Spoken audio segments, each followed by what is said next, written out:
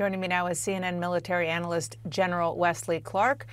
Uh, so, General, first, I'm going to want to talk to you about what's going on at the border. But before that, can you just talk about the significance of these two uh, very important U.S. naval uh, carriers going into the region and what it is meant to do?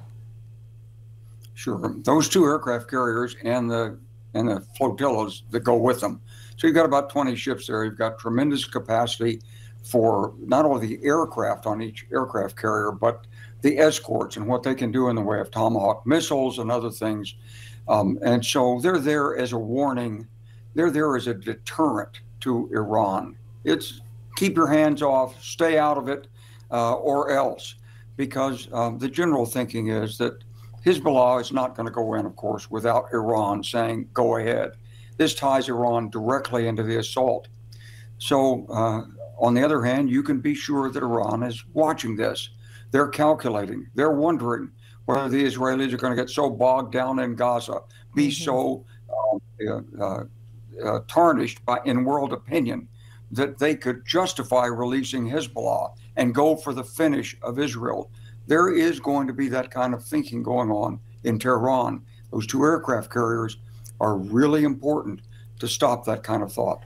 And I just want to underscore you say it is a deterrent. We have definitely heard some this morning uh, in interviews not ruling out the notion of U.S. troops being involved. I, I think it's important to put that into context. Uh, and it certainly does not seem as though the U.S. is going to get involved uh, in a very active way with U.S. troops in this conflict. The discussion is about how to get American hostages out and American civilians out, but mostly American hostages at this point.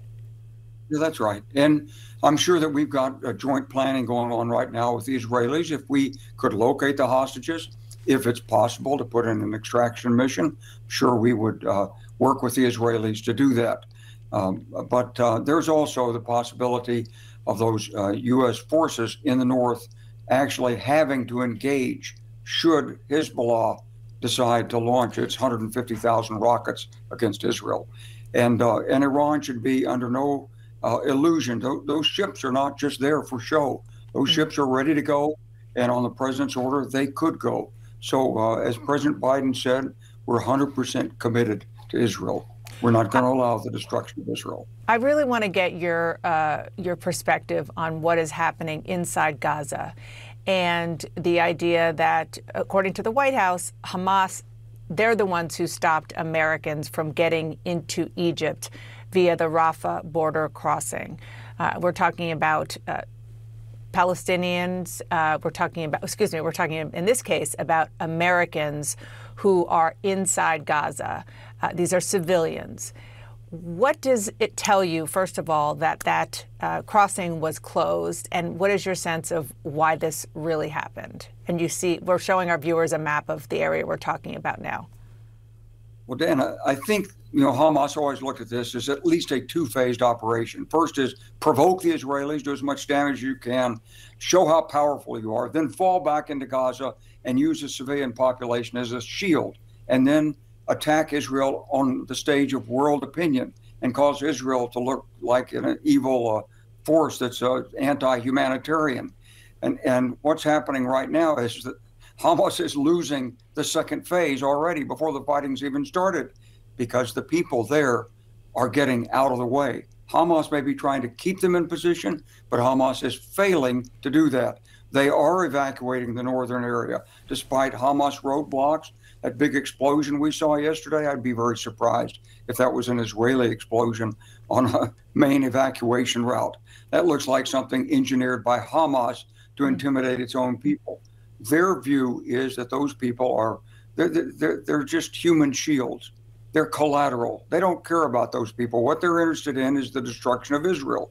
And so the poor people in in in Gaza, as as President Biden said, they're not all Hamas there's a lot of really innocent people in there. Mm-hmm. They they need to be protected too, and the United States and Israel are doing the best they can to do that.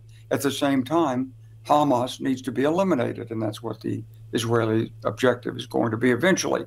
But in this phase, it's already underway. Hamas is losing control of the population, And that's a huge loss for Hamas. I, just to uh, underscore, we're, we're out of time, but just to underscore what you just said that Hamas, which is supposed to be the leadership of Gaza, is trying to prevent innocent civilians from getting out of harm's way, getting out of a war zone because they think it helps them in the propaganda war. It, it's really important right. to, to talk about the difference there. Uh, General Wesley Clark, thank you so much. Appreciate you coming on.